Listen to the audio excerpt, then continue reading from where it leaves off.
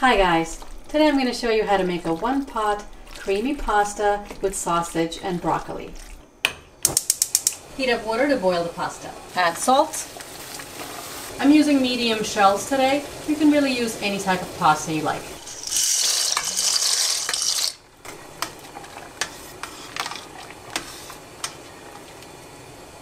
Give it a stir and cook until tender. The other ingredients we need are sausage, cut up into chunks. You can use chicken, turkey, pork, beef, even a vegetarian sausage. Chopped onions and sliced garlic. This is jarred tomato sauce. It's already cooked and it's ready to mix with pasta. You can definitely substitute canned crushed tomatoes or canned tomato sauce. If you are going to use the canned tomatoes or sauce that's not seasoned already, add a little bit of dried oregano or basil parsley, whatever herb you have. I've got some chopped flat leaf parsley. If you can't get it right now, you can leave it out or use um, dried parsley instead. To make the dish creamy, some milk, half and half, or heavy cream. And red pepper flakes for a little heat. Stir the pasta occasionally. To make this a complete meal, add a vegetable. I'm using frozen broccoli. You can definitely substitute fresh broccoli, carrots, green beans, peas, really any vegetable you have on hand. The shells are cooked. That took about 8 minutes. I'll go ahead and drain the pasta. The pasta is draining. Now we can saute the rest of the ingredients. After you drain the pasta, put it into a bowl so it doesn't form a giant clump. We'll use the same pot to cook the rest of the ingredients. Add some olive oil, the onions and garlic,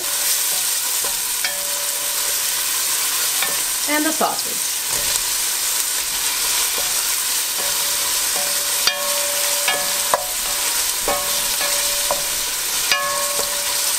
The sausage is already cooked, so all I have to do is heat it up and get a little bit of color on the sausage.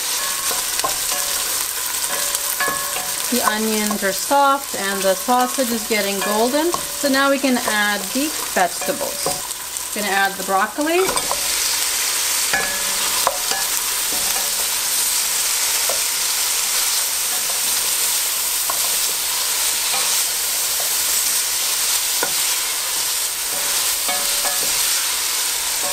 I'm going to have to cover the pot and let the broccoli cook.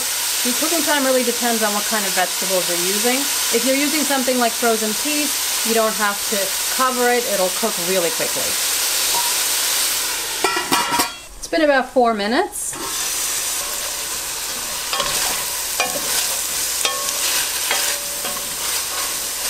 You don't want to overcook it, otherwise it'll be mushy and not taste very good. Add the sauce. And the pasta.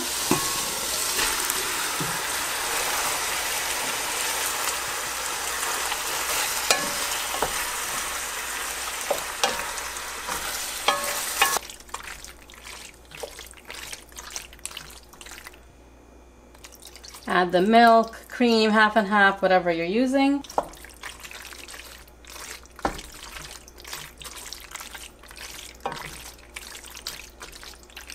See the color changes from red to pink. How creamy you want it is how much milk or half and half you should add. I don't like to add too much though.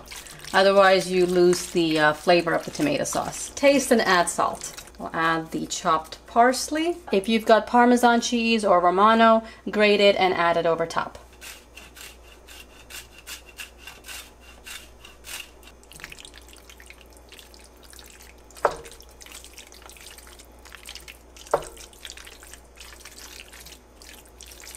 You can see how creamy this dish is. It's very satisfying and so easy to make. I hope you give this a try and let me know how you like it. Subscribe and I'll see you next time.